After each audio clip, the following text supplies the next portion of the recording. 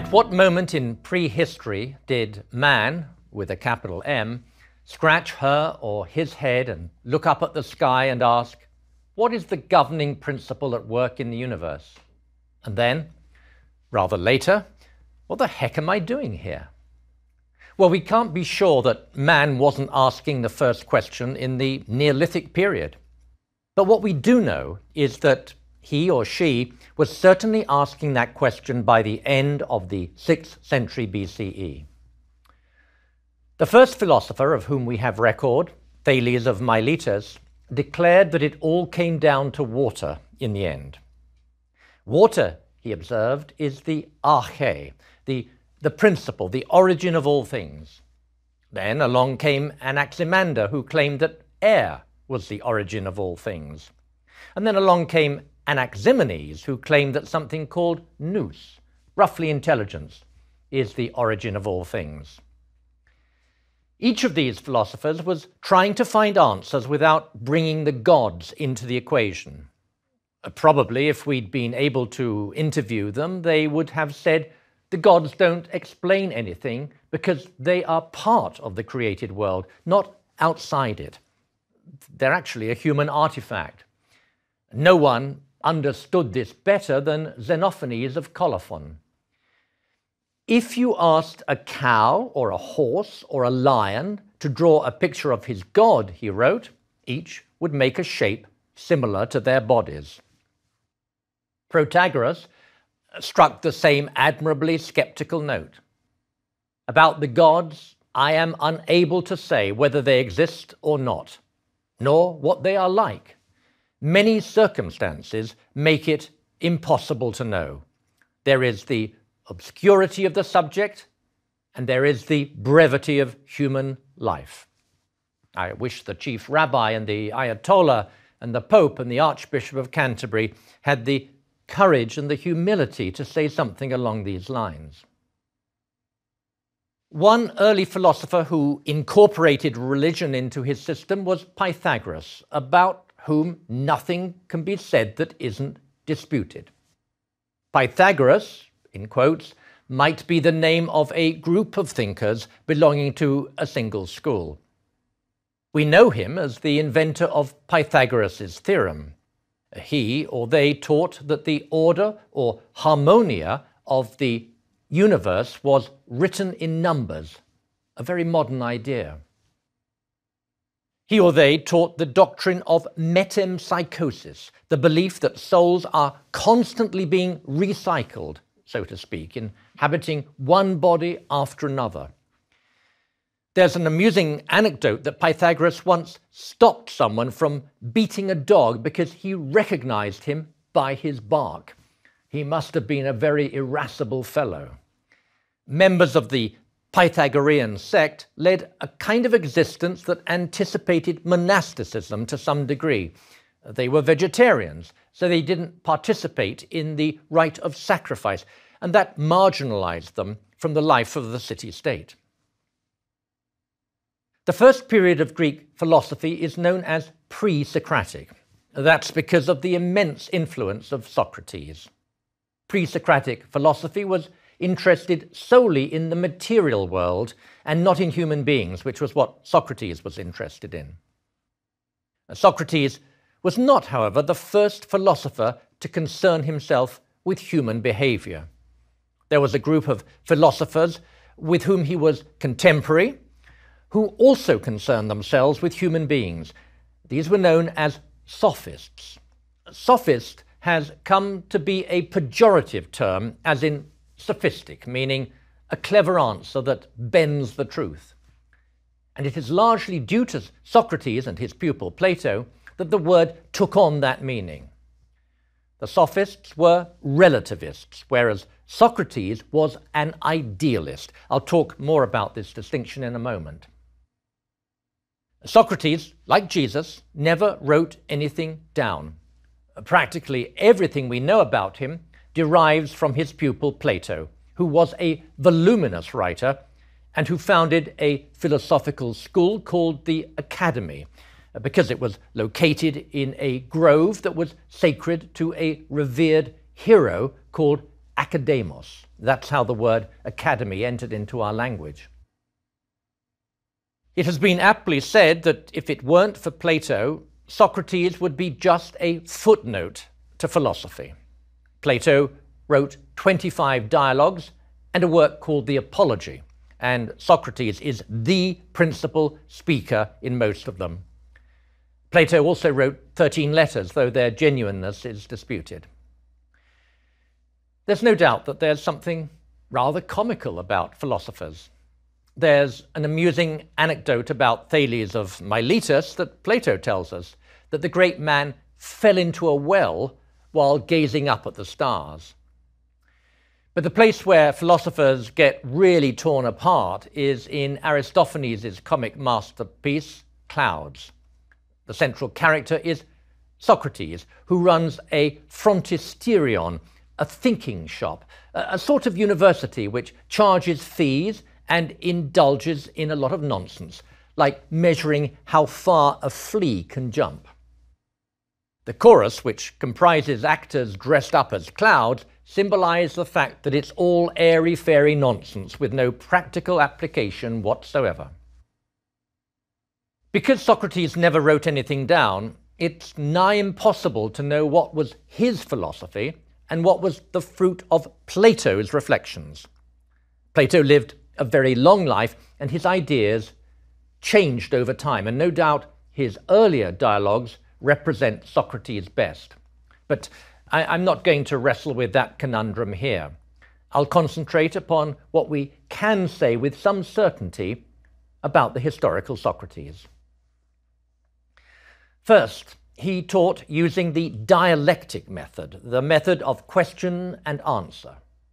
Say you're discussing justice, a central topic in the Republic, incidentally, the most widely read philosophical work today. Socrates would ask you for your definition of justice, and you'd come up with a half baked definition. He'd say, Oh, what a splendid definition! Let me just ask you one or two questions to make sure I understand what you mean. And then he'd proceed to rip you to threads and prove your definition was half baked. Socrates' goal was to shatter the conceit of false knowledge. And often he seems content simply to do that rather than put forward any definition of his own. Pedagogically speaking, it's not a technique likely to endear you to your students, and it's for that reason Socrates acquired a reputation for irony. It's partly why he fell afoul of the Athenian citizen body. He'd majorly pissed off a lot of Athenians by this irritating technique, which made his interlocutors look like fools. Uh, secondly, uh, he despised democracy. The fact that Socrates associated with aristocrats makes this clear. But in addition, Plato put some very dismissive remarks into his mouth, which may well be authentic. In Republic, he says, Democracy, in my view, comes about when the poor are successful and kill the rich, exile others, and give everyone else an equal share in political activity and offices, and where the public offices are filled by lot. And again, no one would be prepared to employ a pilot or carpenter or flautist chosen by lot. But when you want anyone to run your city, you go to any common amateur to do the job. Thirdly, he refused to participate in religious observance and claimed he had access to a private deity. He called it his daimonion, his little demon, though this was actually a good demon which kept him from doing bad things. Having a personal deity was a no no in Athens, however. It's one of the reasons why the Athenians executed him. And one last thing that I strongly believe to be original to Socrates is the conviction that virtue is based on knowledge.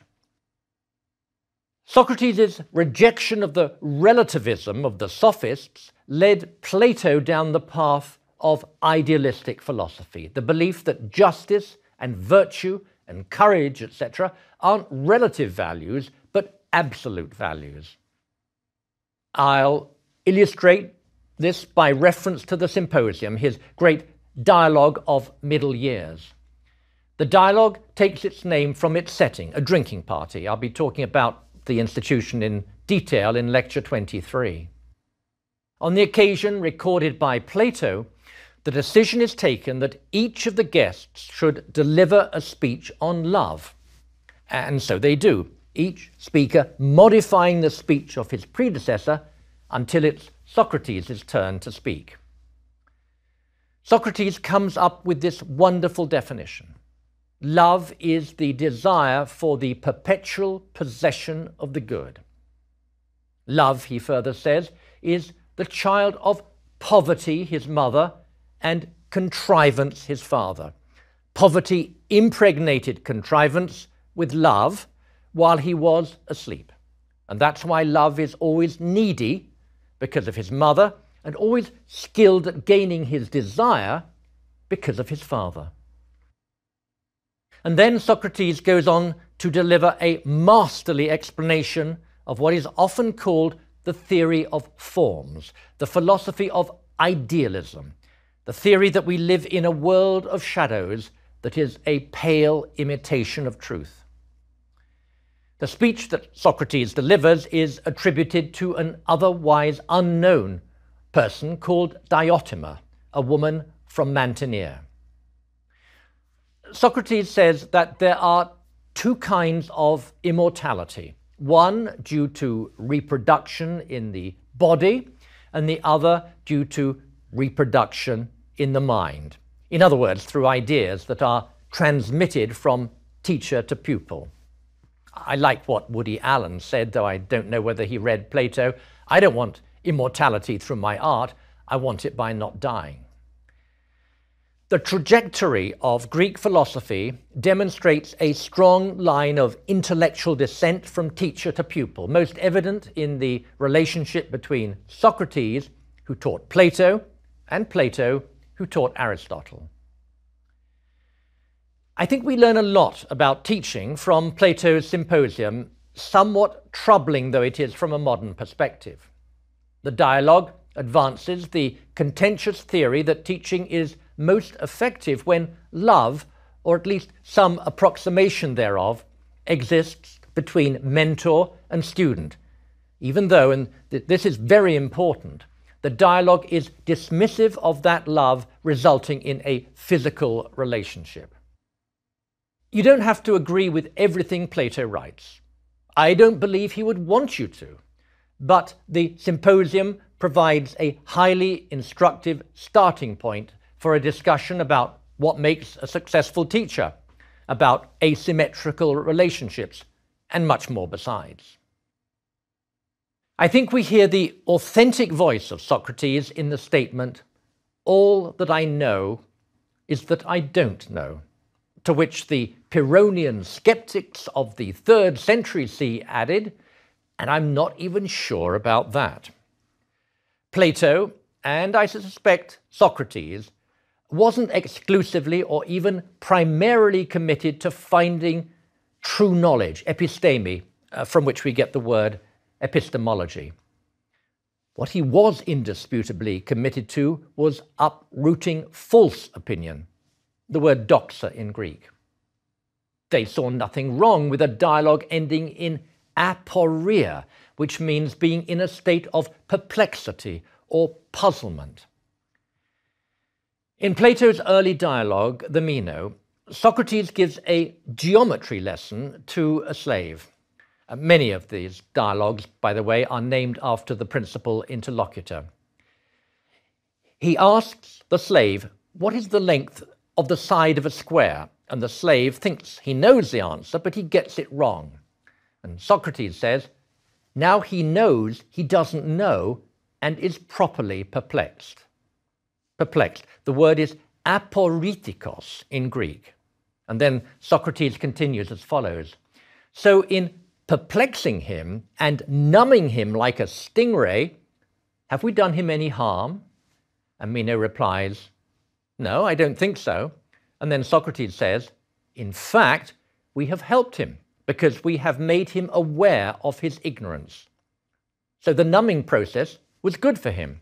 And Meno says, I agree. So being confused and uncertain is better than being certain and wrong. Plato is an ambiguous figure. He is a prose writer of great refinement, and in dialogues like Symposium and Republic, he provides us with unique insight into the world of late 5th, early 4th century Athens and its cast of characters, uh, thanks to the descriptive power of his writing. But he is also a somewhat frightening personality. That's because in what is often called his middle period, and more so in his later period, he becomes repressive and censorious. The ideal state that he envisages in Republic is a totalitarian institution, one in which the individual exists for the good of society as a whole. No one put this more forcefully than Karl Popper in The Open Society and Its Enemies, uh, published in 1945, just at the end of World War II, in which Popper acknowledges Plato's greatness as a sociologist, but exposes what he sees as his attack on liberal democracy and the open society. Plato's hatred of democracy, Popper says, led him to, I quote, defend lying, the suppression of truth, and ultimately brutal violence. Plato is admittedly seductive. A Popper entitled the first volume of The Open Society and Its Enemies, The Spell of Plato. But is he a totalitarian? It's a great question. I, I wish we had time to debate it. Plato's greatest pupil was Aristotle. He studied at the academy for 20 years. Pupil he may have been, but his own man he became, departing radically from the teachings of his mentor. Plato is a friend, but truth is a truer friend, he is said to have remarked. He was born in Macedon, spent a stint in Athens, returned to Macedon, where he became tutor of Alexander the Great, and then in 335 he returned to Athens, where he founded his own philosophical school, the Lyceum. Most of what we have of Aristotle's writings appear to be edited lectures. Aristotle has influenced pretty well every branch of intellectual inquiry. Not only did he lay the foundations for two sciences, biology and logic, but he also invented a theoretical vocabulary for conducting scientific research. Words like species and genus, subject and predicate, necessity and contingency, potentiality and actuality, all owe their genesis to Aristotle. His energy was prodigious, his curiosity encyclopedic, and we have only some of the works he wrote down, many are lost. He got certain things wrong. He believed that slavery was, quote, natural and that women's bodies were inferior to men's, but that shouldn't be held against him. He was a product of his time and couldn't always think outside the box. But he expanded the dimensions of the box exponentially. The Finnish scholar Taneli Kukkonen sums it up well if one were ex hypothesi to imagine surgically removing the Aristotelian strand from the history of Western philosophy or science or theology, it is difficult even to imagine what the end result would look like. Aristotle's influence wasn't confined to the West. His impact on Islamic high culture was enormous as well, and it remains so to this day in educated circles in Iran. One of the reasons why I'm a fan of Aristotle is because he identified happiness as the supreme good of human life. In fact, he spent more time discussing happiness than any philosopher before modern times. He was also very concerned about teleology, the end in itself or purpose of an activity. In the Nicomachean Ethics, he argues that human beings seek things like honor and pleasure because they hope they will lead to happiness, but they don't pursue happiness for any other reason or goal than for happiness itself. The pursuit of happiness. It's a pursuit because it requires activity. And similar to goodness and virtue, upon which the attainment of happiness depends, it is, or at least it can be, profound and enduring. There were two major schools of philosophy that evolved around 300 BCE Epicureanism and Stoicism, both of which were enthusiastically taken up by the Roman elite. Though the founders of each was born abroad, both established their schools in Athens. Stoicism, which was founded by Zeno of Citium, Citium was a city in Cyprus, takes its name from the fact that its pupils hung out, I don't know any better word to express it, in a colonnaded building known as a stoa in the northwest corner of the Athenian agora. The stoa in question was the Stoa Poikile, the painted stoa, so identified because of the paintings it housed. Zeno's followers were first known as Zenonians, and then later, perhaps somewhat disparagingly, as Stoics. We know very little about Stoicism in the first 300 years of its existence because no philosophical work is extant from that period. A central belief was that virtue, arete, is the highest aim of life. Though Stoicism originally had a cosmological aspect to it, by Roman times it was concerned chiefly with ethics. In fact, it's from Roman writers that we learn most, by far, about Stoicism, specifically from three men uh, Seneca, who was the advisor to the Emperor Nero, Epictetus, a former slave, and the Emperor Marcus Aurelius. Seneca and Epictetus lived in the first century, and Aurelius in the late second century CE. Epictetus is the only slave or former slave who has left us anything in writing from either Greece or Rome. He came from Phrygia in Turkey on the borders of the Greek speaking world. I suppose we shouldn't complain that Epictetus turned his hand to philosophy, but I can't help wishing he'd also written just a little bit about his life as a slave, though it's possible that his experience as a slave did colour his writings, since he was instrumental in promoting the belief that the enslaved are as human as the free. Virtue, according to Seneca and Epictetus, is to be found in the will, which means that every person has perfect freedom, so long as she or he emancipates themselves from earthly desires. We can readily understand why such a philosophy would appeal to an ex slave. Although the body might be imprisoned, he noted, the mind is always free. Seneca demonstrated that he had perfect freedom by calmly committing suicide when ordered to do so by Nero, whose advisor he had once been. My favorite Stoic is Marcus Aurelius, often regarded as one of the good emperors, though he did preside over the persecution of the Christians. Marcus wrote a book called To Himself, Ta Eis Heauton, which is usually rendered in English as Meditations. It's one of the first in a long line of self help books because the author, although he's addressing himself, gives basic advice about how to live well.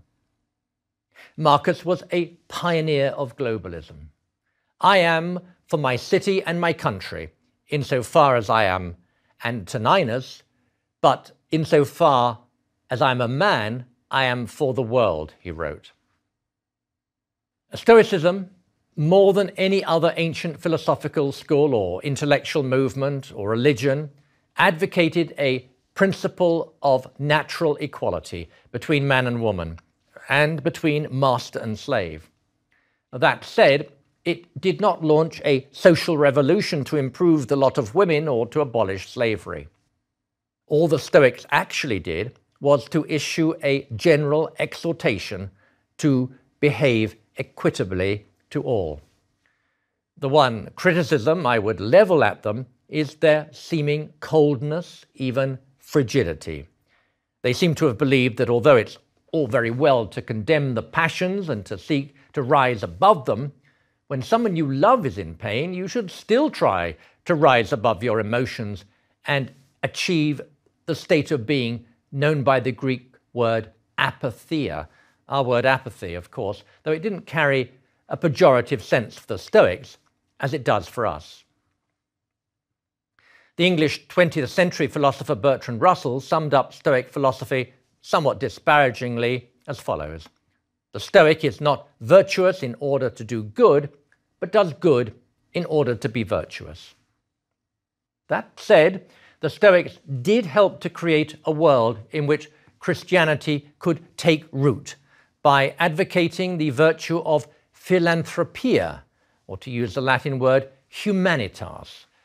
Though one very important distinction between Stoicism and Christianity is that the Stoics did not believe in the immortality of the soul. The other major philosophical tradition, Epicureanism, is named after its founder, Epicurus, who established a school known as the Garden in Athens.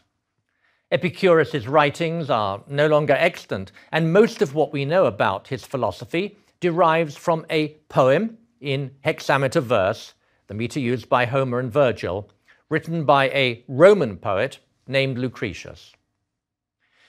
Epicurean in English means someone who overindulges in sensual pleasure, especially pleasure associated with taste. But that's not what Epicurus advocated at all, far from it. He certainly wasn't a foodie. Uh, he advocated a life of strictly moderate pleasure and avoidance of pain. Lucretius's great poem De Rerum Natura, on the nature of things or the universe, begins with a very moving invocation to Venus, goddess of love, whom he describes as the guiding power of the universe. But the gods, he indicates, are not concerned with us. Lucretius then pays tribute to Epicurus for having rescued humanity from groveling dependence on what we would call superstition. He cites the horrifying example of Agamemnon sacrificing his daughter Iphigenia to appease Artemis, Diana, in order to gain a favorable wind to convey his fleet to Troy. Epicurus is Lucretius's hero. In his view, he's a monster slayer, except that the monster he's slain is not some many headed beast of mythology, but the world of our sick imaginings, in particular, our fear of death and the world to come. Everything is material according to Epicurean belief. That's because everything is made out of atoms, rerum primordia, the building blocks of the universe, which can't be divided. Even the soul, he alleges, is made of atoms, albeit very fine atoms. There's no point worrying about death because death is merely oblivion. So enjoy yourself within limits, because to go to excess is to invite pain. We are so lucky that Lucretius is still with us. In the 15th century, only one manuscript survived, mouldering away in a German monastery before Poggio Bracciolini, emissary of the Pope and an inveterate manuscript hunter, came across it. Its discovery is the subject of Stephen, Stephen Greenblatt's thrilling book, The Swerve How the World Became Modern, which was winner of the 2012 Pulitzer Prize. It claims that if Lucretius had been lost, the modern age would not have taken shape the way it did. Its title, The Swerve, is a reference to the Epicurean belief that atoms falling through the void swerve slightly just as Western thought swerved with the rediscovery of Lucretius. Like Galileo, the staunch defender of the Copernican, that's to say, heliocentric worldview, Lucretius devoted his intellect and creative energy to defending the theory of a dead man because he believed it was true. It's generally claimed that philosophy remained a lively industry in Athens until 529, when the Byzantine Emperor Justinian withdrew funding.